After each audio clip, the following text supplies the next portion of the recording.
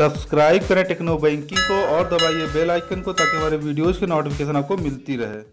नमस्कार दोस्तों, स्वागत है आप सभी लोगों का हमारे YouTube चैनल टेक्नो बैंकिंग में। दोस्तों, अगर आप लोग का भी account State Bank of India में है और आप लोग स्टेट बैंक ऑफ़ इंडिया का इंटरनेट बैंकिंग मतलब कि नेट बैंकिंग यूज़ करते हैं तो ये खबर सिर्फ़ आप लोगों के लिए है। तो दोस्तों, बने रहे इस वीडियो के साथ, क्योंकि आज की इस वीडियो में मैं आप लोग को स्टेट बैंक ऑफ़ इंडिया से आई एक बहुत ही महत्वपूर्ण न्यूज़ को बताने वाला हूँ। तो दोस्तों, वीडियो को अगर आप लोगों को पसंद आए तो वीडियो को लाइक करिए, अपने सभी दोस्तों के साथ शेयर करिए, ताकि सभी लोगों तक ये न्यूज़ पहुँचनी चाहिए। और दोस्तों, इसी तरह की इंटरेस्टिंग और जानकारी भरी वीडियोज़ के लिए प्लीज़ हमारे चैनल टेक्नो बैंकिंग को ज़रूर सब्सक्राइब करिए। दोस्तों सब्सक्राइब के अलावा आप लोग बेल आइकन को ज़रूर प्रेस करिए ताकि हमारे आने वाले वीडियोज़ की नोटिफिकेशन आपको मिलती रहे। तो आइए दोस्तों वीडियो स्टार्ट करते हैं।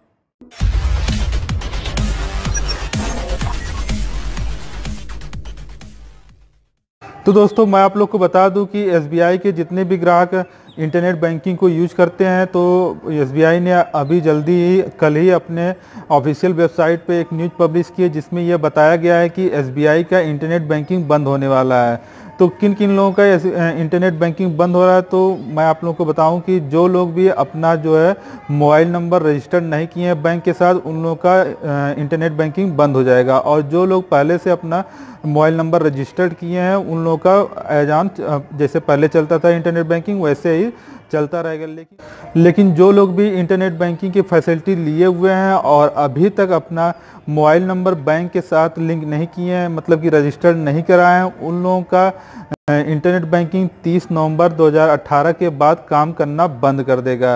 ये कोई दोस्तों फेक न्यूज़ नहीं है। मुझे कल ही न्यूज़ मिली तो मैंने जाकर एसबीआई की साइट पे भी चेक किया तो एस की official website S co dot in पर अगर आप जाएँगे तो आपको वहाँ पे सामने ही वो न्यूज़ फ्लैश न्यूज़ के रूप में दिख जाएगी। जिसमें यह बताया गया है कि SBI के जितने भी ग्राहक अगर नेट बैंकिंग यूज़ करते हैं तो अगर वो अपना मोबाइल नंबर रजिस्टर्ड नहीं कराए हैं एसबीआई के साथ तो उनका आ, इंटरनेट बैंकिंग दो तीस नवंबर 2018 के बाद बंद हो जाएगा। तो तो अगर आप लोग अपना मोबाइल नंबर अभी तक रजिस्टर नहीं कराए हैं, अगर एसबीआई के ग्राहक हैं तो फिर आप लोग तुरंत ही जाकर इमीडिएटली अपना मोबाइल नंबर रजिस्टर्ड करवा लीजिए। दोस्तों, मोबाइल नंबर रजिस्टर करने के लिए आप लोग कस्टमर कॉल पे भी एसबीआई की कॉल कर सकते हैं, वहाँ से भी रजिस्टर हो सकता है, या फिर इंटरनेट बैंकिंग के थ्रू भी आप लोग मोबाइल नंबर रजिस्टर करवा सकते हैं, या फिर अगर आप लोग ऑफलाइन कराना चाहते हैं, बैंक जाकर वहाँ भी बैंक में एसबीआई में एक फॉर्म होता है, उस फॉर्म, बहुत ही सिंपली फॉर्म होता है, उस फॉर्म को फिलअप करके आप अपना मोबाइल नंबर रजिस्टर कर देंगे।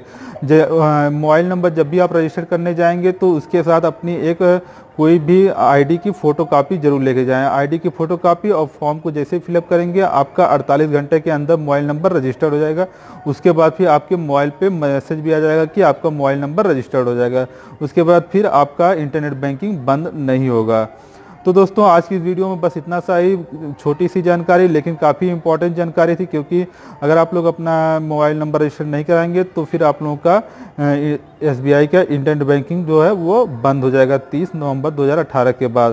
तो दोस्तों, अगर आप लोगों को वीडियो पसंद आई हो तो वीडियो को ज़्यादा से ज़्यादा लाइक करिए, अपने सभी दोस्तों के साथ शेयर करिए, और ताकि सभी लोगों तक जानकारी पहुँच सके, क्योंकि जानकारी काफ़ी इंपॉर्टेंट है।